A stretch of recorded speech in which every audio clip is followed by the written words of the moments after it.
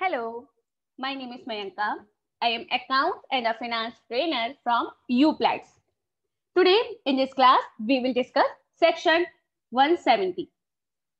Section 170 of Income Tax Act. Section 170 of Income Tax Act. Section 159 to section 169 are already covered by us in our previous videos. So kindly refer all the previous videos so that you can understand each and every section which is relating to the which is relating to the in means how we will determine or how we will calculate the liability in some special cases. In our previous section, we have discussed about the legal representative, representative assessee, right and the duty of legal representative and assessee, representative assessee. Means we have discussed about these some important points, which all are very much relevant in some special cases. Now, in this class, we will discuss section 170, section 170 of Income Tax Act. Liability of successor to the business in the respect of tax chargeable from the predecessor. In the case when there is any succession of business, there is any succession of business. So in the case of succession of business, the income will be taxable in the hands of both person, in the hands of predecessor as well as successor. It will be taxable proportionately. It will be taxable proportionately in both the in the hands of both person. So how we will determine the portion? Now we will discuss assessment of assessment of successor or the predecessor, assessment of successor or the predecessor. When there is a business, when there is a person and he is uh, performing the business activity, he is carrying out any business or any profession, or he is doing any vocation. And uh, such business, such profession, or such a vocation is carried by other person it is carried by other person. And such person continue to carry on that business or profession. Means there is a business which is carried out by a person. And such a business is succeed by another person. Then such a business is succeed by the another person. Then the successor and the predecessor. Then there are two persons for the example there is a person, Mr. Ram, and he is engaged, engaged in the business of, in the business of just like textile. He is engaged in the business of textile. The business of Mr. Ram is succeed, is succeed by Mohan. It is succeed by Mr. Mohan and now Mr. Mohan, he will continue his textile business.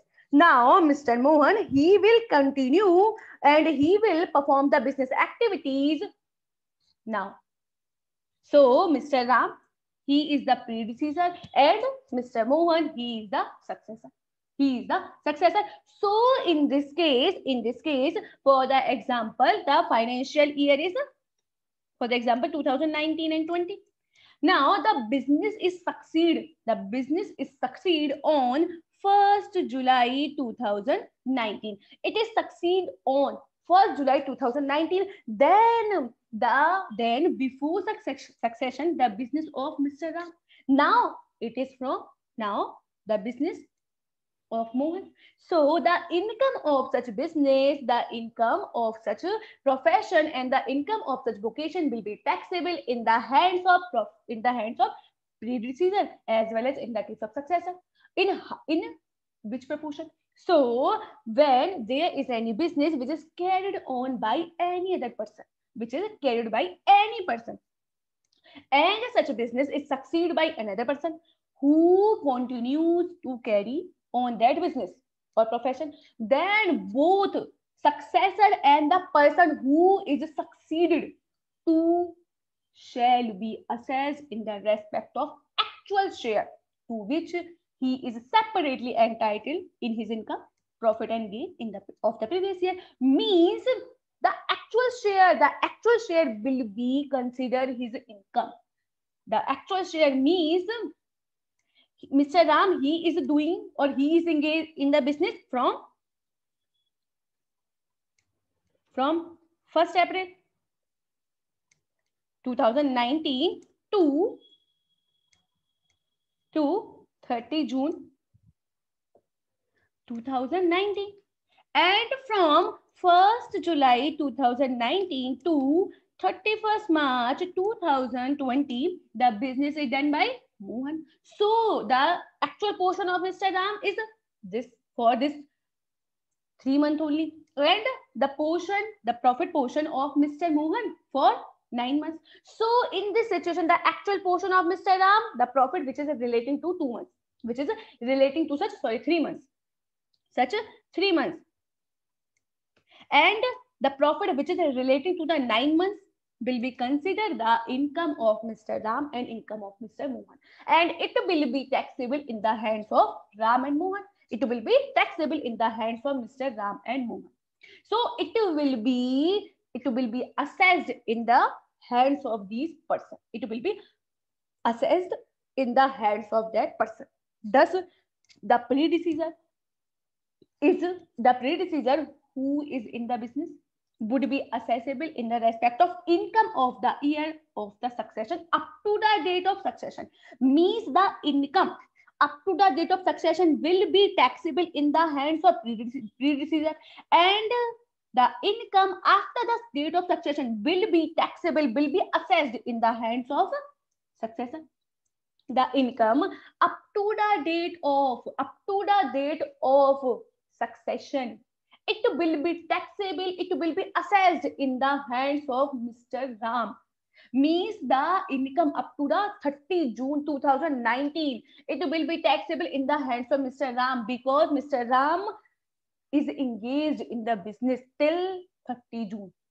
From 1st July, the business is succeeded by Mr. Mohan and now from 1st July 2019 to 31st March 2020, the income which is relating to such business will be assessed in the hands of Mr.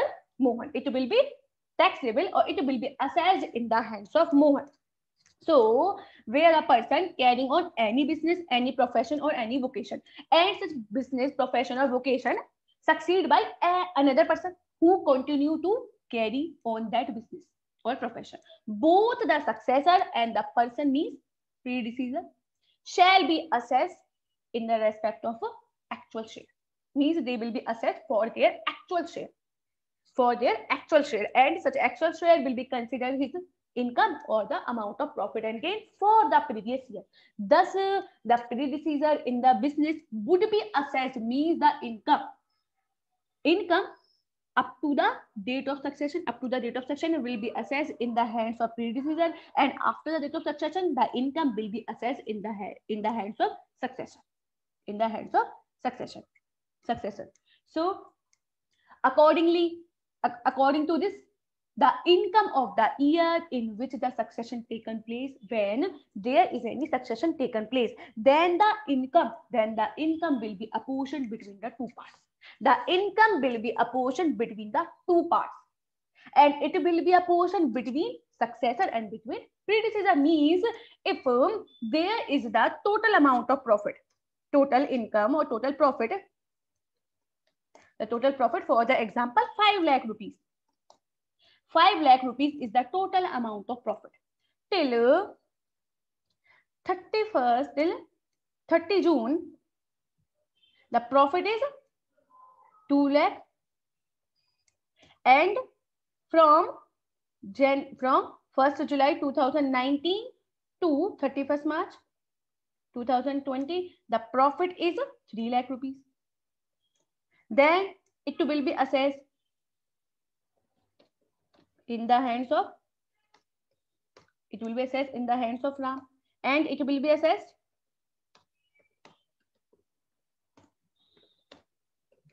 in the hands of Mohan. It will be assessed in the hands of Mohan and it will be assessed in the hands of Mr. Ram. in the hands of Ram. So there is the proportion of the income. There is the pro proportion of the profit and the proportion is made between the predecessor and the successor. The portion is made between these two persons, predecessor and the successor. So accordingly, the income of the year in which succession taken place will be a portion into two parts and it will be a portion between the succession or the predecessor with the share of each. The income must be completed, computed separately and uh, each must be granted the deduction and the allowance applicable to them, applicable to him. Means the income will be computed separately and they will be eligible for the deductions and for the allowance which are applicable to them, which are available to them. The assessment of each of such person must be separate and distinct. Means the assessment will be made separately and distinct.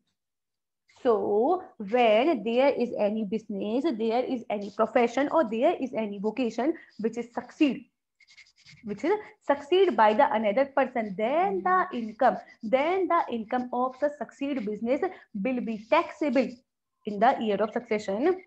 The amount of income will be taxable in the hands of the predecessor as well as in the hands of successor successor. And such income will be the total income means the income of such year the profit of such income will be apportioned between the predecessor and the succession and the actual part of these person will be taxable in the hands of these person only in the hands of these person only Now we will discuss assessment when predecessor cannot be found. Assessment in the case when the predecessor cannot be found. When the predecessor cannot be found. So where the predecessor cannot be found, where the predecessor cannot be found, then the assessment of the income of the year in which the succession take place took place up to the date of succession means the when there is a, there is a no predecessor. The, the predecessor cannot be found means the predecessor is not available. So the so the assessment of the income income up to the date of up to the date of succession because up to the date of succession the income will be taxable it will be taxable in the hands of succession sorry, in the hands of predecessor, in the hands of predecessor.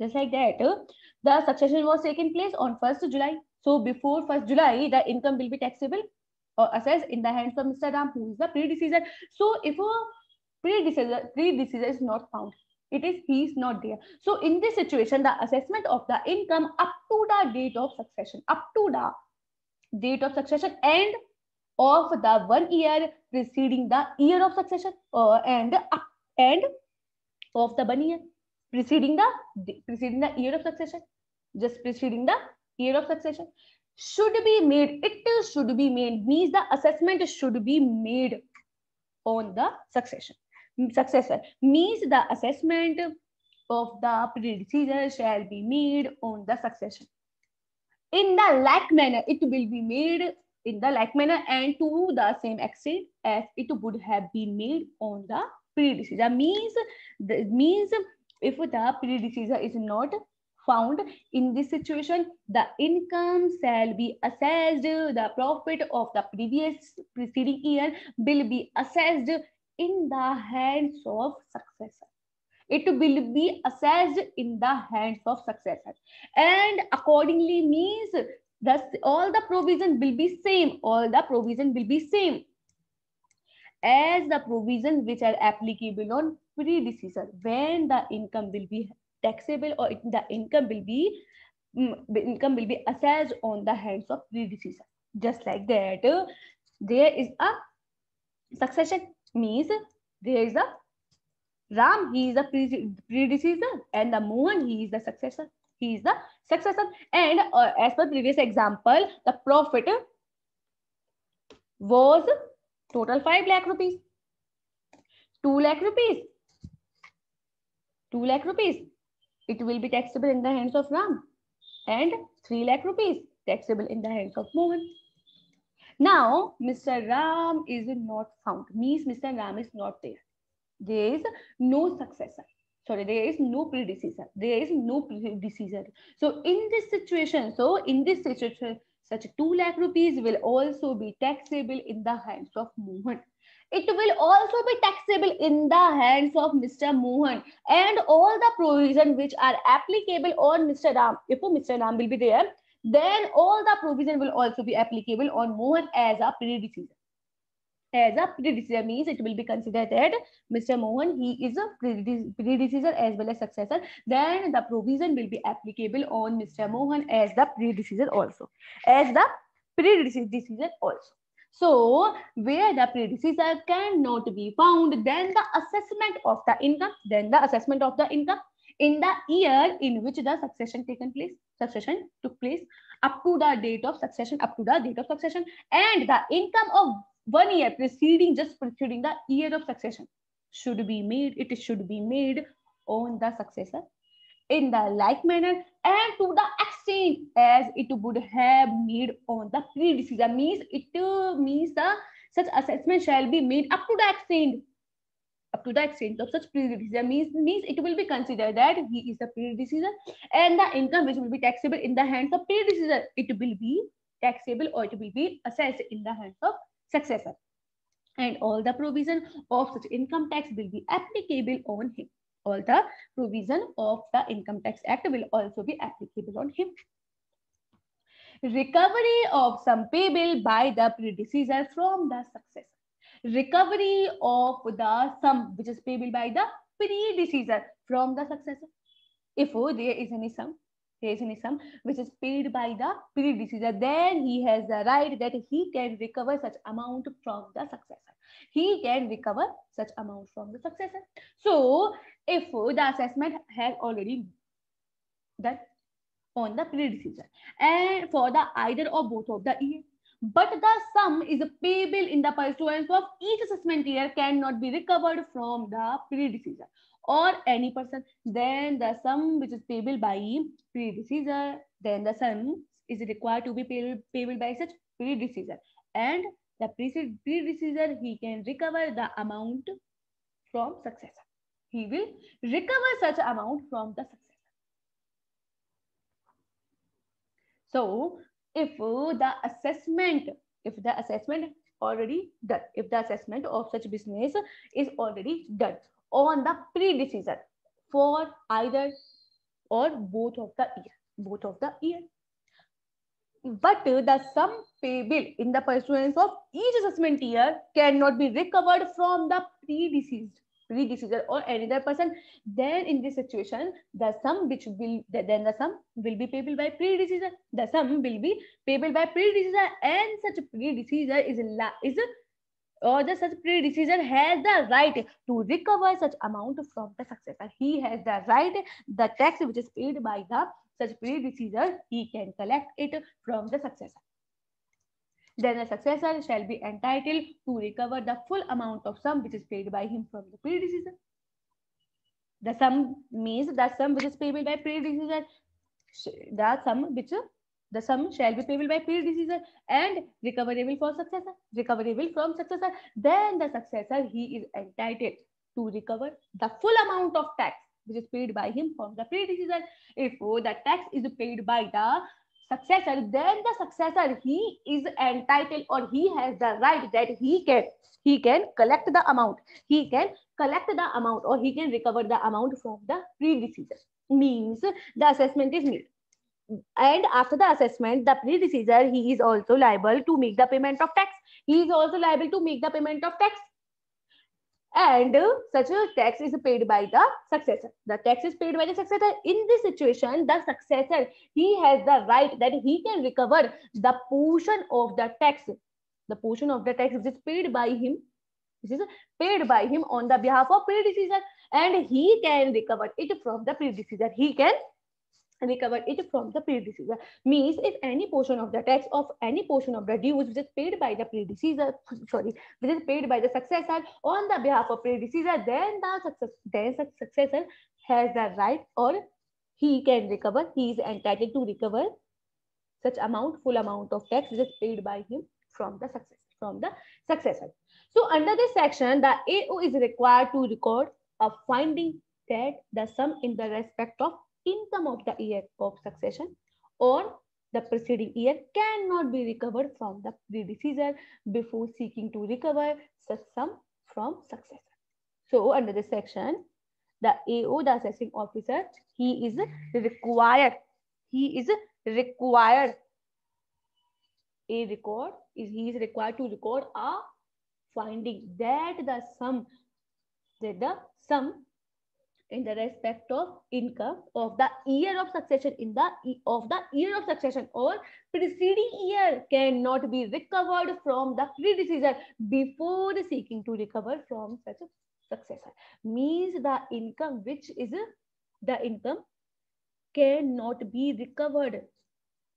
Cannot be recovered from the succession before it is seeking to recover such sum from the successor. Means first the income first the tax will be will be or will be taken from or it will be obtained from successor. Then after the successor will recover the amount of such tax from the predecessor.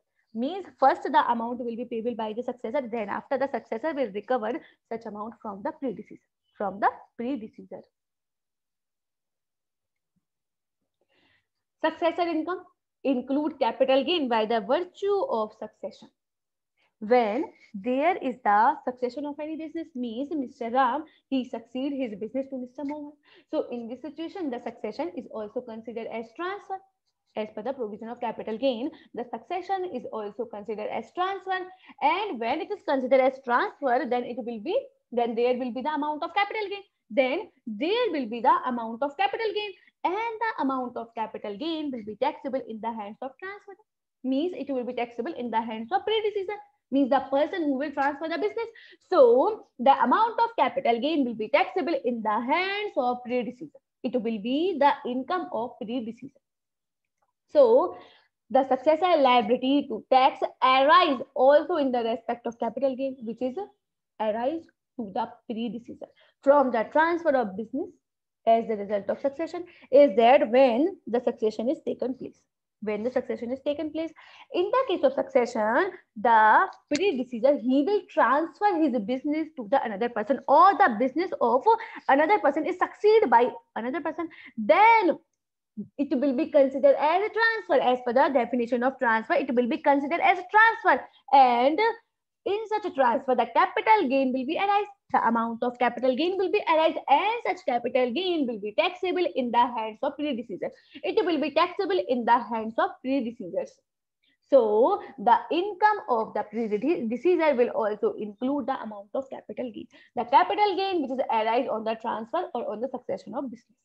So the successor liability to pay tax arise also in the respect of capital gain. Means he will also make the payment of capital gain when the successor making the payment of tax, then he will also make the payment of make the payment of tax on the capital gain, which is relating to the predecessor and he will, he is he has the right that he can recover the amount of such tax, total amount of tax from the predecessor means he can recover such amount.